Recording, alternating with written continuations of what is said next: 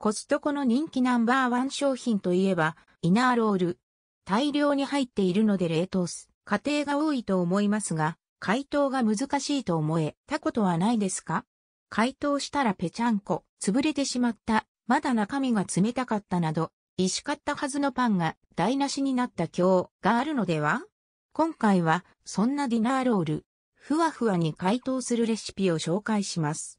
は、と数と秒数まで明記があるので、誰でも同じ、うに、ふわふわのパンを食べられますよ。1、水に、らしいて、軽く絞った、キッチンペーパーで D、ロールを包む。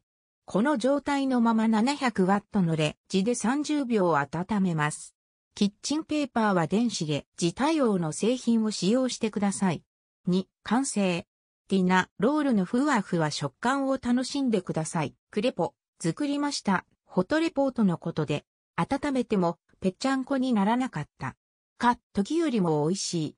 など喜びの声がたくさん。字で30秒温めるだけですぐに食べれる点も C 字には助かりますよね。これでコストコの買い物も心配ありません。大量に冷凍したイナーロールを美味しく食べましょう。テキスト、加藤な関連記事。